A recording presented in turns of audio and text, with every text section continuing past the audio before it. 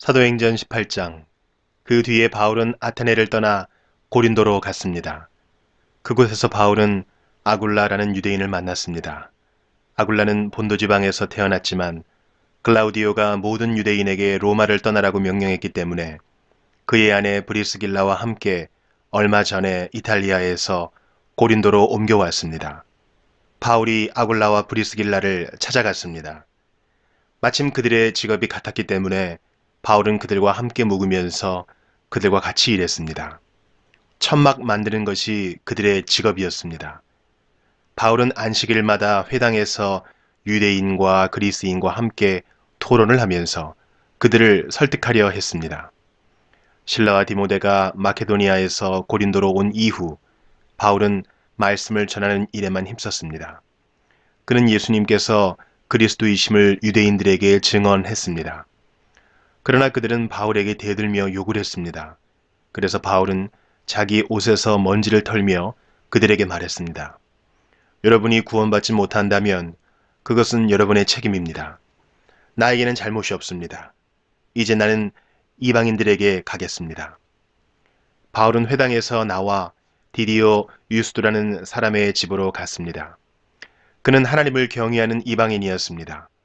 그의 집은 회당 바로 옆에 있었습니다. 회당장 그리스보와 그의 온 집안 식구가 주님을 믿었습니다. 그러자 고린도에 사는 다른 많은 사람들이 이 소식을 듣고 예수님을 믿고 세례를 받았습니다. 어느 날 밤 환상 중에 주님께서 바울에게 말씀하셨습니다. 두려워하지 마라. 조용히 있지 말고 계속해서 말하여라. 내가 너와 함께 있다. 내 백성이 이 도시에 많다. 그러므로 아무도 너를 공격하거나 해치지 못할 것이다. 바울은 그곳에 1년 6개월 동안을 머물면서 사람들에게 하나님의 말씀을 가르쳤습니다. 갈리오가 아가야 지방의 총독이 되었을 때에 유대인들이 합심하여 바울에게 몰려가 그를 재판정으로 끌고 갔습니다. 유대인들은 갈리오에게 이 사람이 우리의 법을 어겨가면서 사람들에게 하나님을 섬기라고 유혹하고 있습니다. 라고 고소했습니다. 바울이 막 입을 열려고 하는데 갈리오가 유대인들에게 말했습니다. 여러분, 고소하는 것이 어떤 범죄나 나쁜 행동에 관한 것이라면 내가 들어주겠소. 그러나 여러분이 지금 말하는 것은 언어와 명칭과 여러분들의 율법에 관한 것들이요. 그러니 이런 문제는 여러분 스스로 해결하도록 하시오. 나는 이런 사건의 재판관이 되기는 싫소. 이 말을 하고 갈리오는 그들을 재판정에서 몰아내습니다. 그러자 그들은 회당장 소스테네를 붙들어다가 재판장 앞에서 마구 때렸습니다. 그래도 갈리오는 이 일에 조금도 참견하지 않았습니다. 바울은 형제들과 함께 고린도에 며칠 더 머물다가 그들과 작별하고 배를 타고 시리아로 갔습니다. 브리스길라와 아굴라도 그와 동행하였습니다. 바울은 항해하기 전에 그가 이전에 맹세한 것이 있어서 갱그레아에서 머리를 깎았습니다. 그들은 에베소에 도착했습니다. 그곳에서 바울은 브리스길라와 아굴라와 헤어진 후 혼자서 회당으로 가서 유대인들과 토론을 했습니다. 유대인들이 바울에게 좀 더 머물러 달라고 말했지만 바울은 거절했습니다. 하지만 바울은 그들과 헤어지면서 하나님의 뜻이라면 다시 돌아오겠습니다. 라고 약속했습니다. 그리고 배를 타고 에베소를 떠났습니다. 바울은 가이사랴에 내려 예루살렘으로 올라가 인사한 뒤 다시 안디옥으로 내려갔습니다. 바울은 한동안 안디옥에 머물러 있다가 그곳을 떠나 갈라디아와 부르기아 지방을 두루 다니면서 모든 신자들에게 힘을 북돋워 주었습니다. 아볼로라는 유대인이 에베소에 왔습니다. 그는 알렉산드리아에서 태어났으며 교육을 많이 받았고 성경이 능통한 사람이었습니다. 그는 주님에 관한 도도 배워서 알고 있었기 때문에 예수님에 관한 일들을 말하고 자세히 가르쳤습니다. 그러나 그는 요한의 세례밖에 몰랐습니다. 아볼로가 회당에서 용기 있게 말하는 것을 브리스길라와 아굴라가 듣고 그를 자기들 집으로 데려다가 하나님의 도에 대해 더 자세히 설명해 주었습니다. 아볼로가 아가야 지방으로 가고 싶어 하자 에베소의 신자들은 격려하면서 그곳의 신자들에게 아볼로를 영접하라고 편지를 썼습니다.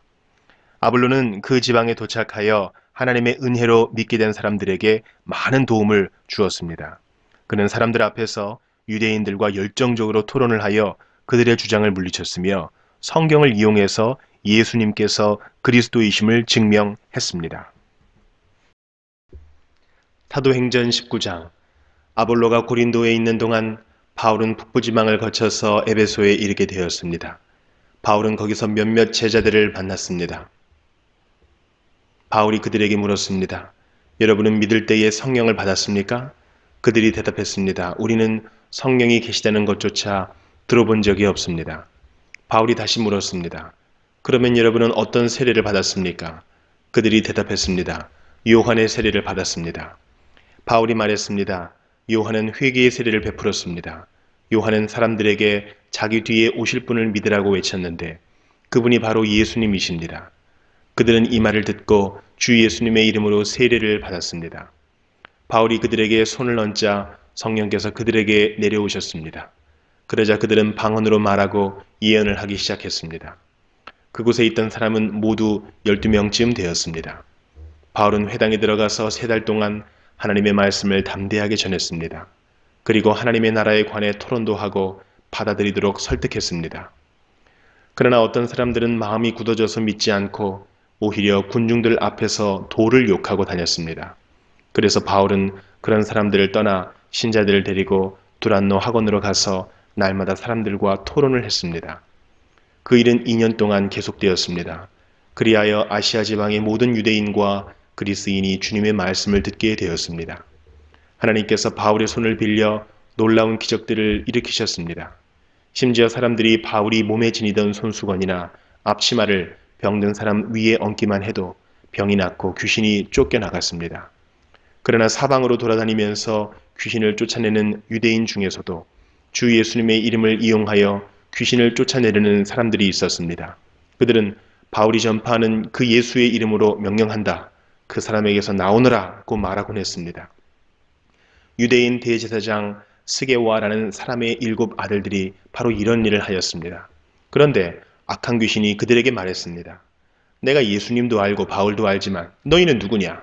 그러더니 귀신 들린 사람이 그들에게 달려들었습니다. 귀신 들린 사람은 스게와의 아들들보다 힘이 세어서 그들을 때리고 옷을 찢었습니다. 그래서 그들은 발가벗긴 채 그 집에서 도망쳤습니다.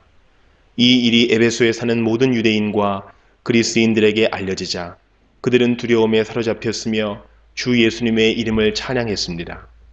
믿는 사람들이 많이 나와 사람들 앞에서 자기들이 행한 일들을 고백하기 시작했습니다.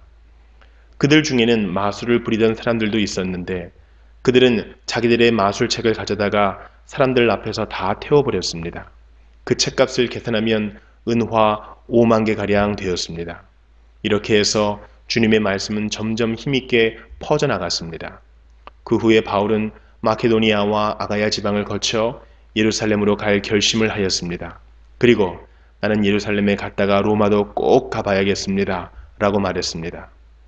바울은 자기를 돕는 사람 가운데 두 사람, 곧 디모데와 에라스도를 먼저 마케도니아로 보냈습니다. 그리고 그는 아시아에 얼마 동안을 더 머물렀습니다. 그 무렵 에베소에서는 예수님의 도 때문에 적지 않은 소란이 일어났습니다. 데메드리오라는 은 세공인이 있었는데 은으로 아데미 여신의 신전 모형을 만드는 사람이었습니다. 그는 이 일로 직공들에게도 많은 돈을 벌게 했습니다. 그가 직공들과 이런 일에 종사하는 사람들을 불러놓고 말했습니다. 여러분, 여러분도 아시다시피 우리는 이 사업으로 소득이 꽤 좋았습니다. 그런데 여러분들도 보고 들은 대로 바울이라는 이 사람이 에베소뿐만 아니라 아시아의 거의 모든 지방에서 사람이 만든 신은 신이 아니라고 말합니다. 그는 수많은 사람들을 설득하여 그들의 마음을 돌려놓았습니다. 이러다가는 우리 사업이 명성을 잃게 될 위험이 있을 뿐만 아니라 사람들이 위대한 아데미 여신의 신전을 우습게 여길 위험이 있습니다. 그렇게 되면 아시아와 온 세계의 모든 사람들이 섬기는 아데미 여신의 위험이 땅에 떨어질 것입니다. 이 말을 들은 사람들은 격분하여 에베소의 여신 아데미는 위대하다라고 소리 지르기 시작했습니다. 도시는 순식간에 소란스러워졌습니다. 군중들은 바울과 함께 여행하던 마케도니아 사람 가이오와 아리스다고를 붙잡고 한꺼번에 극장으로 몰려갔습니다. 그때 바울도 군중들 속으로 들어가려 했지만 제자들이 말렸습니다. 또 바울과 친하게 지내던 아시아의 관리 몇 사람들도 사람을 보내어 바울더러 극장에 들어가지 말라고 권했습니다. 극장 안에서는 사람들이 소리를 지르는데 어떤 사람은 이렇게 다른 사람은 저렇게 외쳐대는 바람에 극장 안은 완전히 난장판이 되고 말았습니다. 심지어 자기들이 그곳에 왜 모였는지조차 모르는 사람들도 많았습니다. 유대인들이 알렉산드라고 하는 사람을 앞으로 밀어내자 군중들 중 몇 사람이 그를 다그쳤습니다. 알렉산드가 손짓으로 사람들에게 조용히 하라고 한 후 군중들에게 변명을 하려고 했습니다. 그러자 군중은 알렉산더가 유대인인 것을 알고 한 목소리로 에베소의 여신 아데미는 위대하다라고 두 시간이나 외쳐댔습니다. 마침내 에베소 시의 서기관이 나와 군중을 진정시키고 이렇게 말했습니다. 에베소 시민 여러분, 에베소가 위대한 아데미 여신의 신전과 하늘에서 내려온 그 신상을 지키는 곳이라는 것은 온 세상이 다 아는 사실입니다. 이것은 부인할 수 없는 사실이므로 시민 여러분은 마음을 가라앉히고 경솔한 행동은 삼가시기 바랍니다. 여러분은 이 사람들을 이리로 끌고 왔으나 이 사람들은 우리 여신을 모욕한 적도 없고 그 신전에서 무엇을 훔치지도 않았습니다. 우리에게는 재판정이 있고 재판관들도 있습니다. 만약 데메드리오와 그의 직공들이 누구를 고소할 일이 있다면 당사자들이 재판정으로 가서 옳고 그름을 가려야 할 것입니다. 그 밖에 여러분이 해결하고자 하는 문제가 있다면 그것은 공식적인 모임에서 다루어야 할 것입니다. 이는 제가 이런 말을 하는 것은 아무런 이유도 없이 소동을 일으킨 책임이 우리에게 있다고 비난을 받을 위험이 있고 또 이 소동에 대해 변명할 말이 없기 때문입니다. 그는 이렇게 말하고 모임을 해산시켰습니다. 사도행전 20장 소동이 그치자 바울은 신자들을 불러오게 해서 격려한 뒤에 작별 인사를 했습니다. 바울은 그곳을 떠나 마케도니아 지방으로 갔습니다. 그는 마케도니아로 가는 길에 여러 지방에 들러 신자들에게 격려하는 말을 많이 하고 그리스에 도착했습니다. 바울은 그리스에서 세 달을 지냈습니다. 그는 배를 타고 시리아로 가려 했으나 유대인들이 그를 해치려는 음모를 꾸몄기 때문에 마케도니아를 거쳐서 시리아로 돌아가기로 작정했습니다. 그때 바울과 동행한 사람은 베레아 사람 부로의 아들 소바더와 테살로니가 사람 아리스다고와 세군도와 더베 사람 가이오와 디모데와 아시아 사람 두기고와 드로비모였습니다. 이들은 드로아에 먼저 가서 우리를 기다리고 있었습니다. 우리는 무교절이 지난 뒤에 빌립보에서 배를 타고 5일 만에 드로아에서 그들을 만나 그곳에서 7일 동안을 머물렀습니다. 안식일 다음날 우리가 교제의 식사를 나누기 위해 모였을 때에 바울이 설교를 시작했습니다. 그는 다음날에 떠나기로 되어 있어서 한밤중까지 신자들에게 설교를 계속했습니다. 우리가 모인 다락방에는 등불을 많이 켜놓았습니다. 유두고라고 하는 청년이 창문에 자리 잡고 앉아 있었는데 바울의 말이 너무 오래 계속되자 잠이 들어 그만 3층에서 떨어졌습니다. 사람들이 그를 일으켜 보니 이미 죽어 있었습니다. 바울이 내려가 유두고 위에 엎드려 그를 껴안고 말했습니다. 걱정하지 마십시오. 이 청년이 아직 살아 있습니다. 바울은 다시 위층으로 올라가서 빵을 떼어 먹은 후에 날이 새도록 오랫동안 설교를 하고 떠나갔습니다. 사람들은 살아난 젊은이를 집으로 데려가면서 큰 위로를 받았습니다. 우리는 먼저 배를 타고 아소로 항해하였습니다. 아소에 도착해서 바울을 그 배에 태울 생각에서였습니다. 이런 계획을 세운 것은 바울이 걸어서 아소까지 가겠다고 했기 때문입니다. 우리는 아소에서 바울을 만나서 그를 배에 태워 미둘레네로 갔습니다. 이튿날에는 미둘레네를 떠나 기호에서 가까운 곳에 이르렀고 다음날 삼으로 건너갔다가 그 다음날 밀레도에 도착했습니다.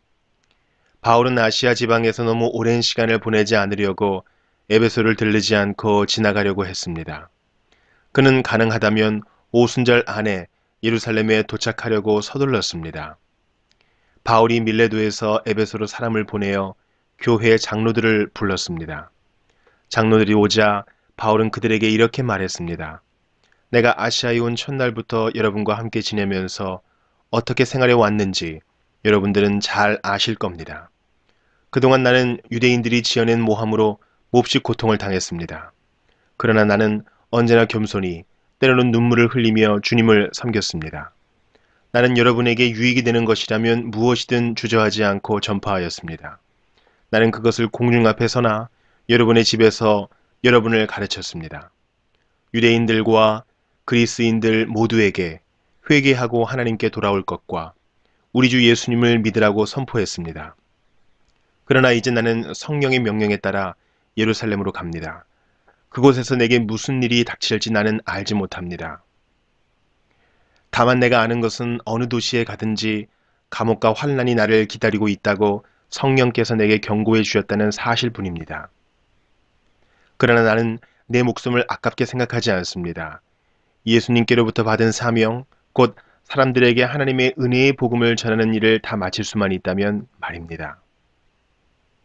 나는 여러분과 함께 있는 동안 줄곧 하나님의 나라를 전했습니다. 이제 나의 설교를 들으신 여러분 중에는 나의 얼굴을 다시 볼 수 있는 사람이 아무도 없으리라는 것을 나는 압니다. 그러므로 오늘 여러분에게 엄숙히 선언합니다. 여러분 가운데 설령 누군가 구원받지 못하는 사람이 있다고 하더라도 내게는 책임이 없습니다. 그것은 내가 주저하지 않고 하나님의 모든 뜻을 여러분에게 전해 주었기 때문입니다. 여러분은 자신들과 모든 맡겨진 양떼를 잘 살피고 그들을 잘 돌보십시오. 성령께서 여러분을 감독자로 세우셔서 하나님께서 자기 아들의 피로 사신 교회를 돌보게 하셨습니다. 내가 떠난 뒤에 어떤 사람들이 사나운 이리처럼 교회에 들어와서 양떼를 해치려 할 것을 나는 압니다. 또한 여러분 가운데서도 진리를 왜곡되게 말하고 제자들을 유혹하여 자기를 따르게 하는 사람들도 나타날 것입니다. 그러므로 깨어 있으십시오. 내가 3년 동안을 밤낮으로 때로는 눈물을 흘리며 여러분 한 사람 한 사람에게 쉬지 않고 교훈한 것을 기억하십시오. 이제 나는 하나님과 하나님의 은혜의 말씀에 여러분을 맡깁니다.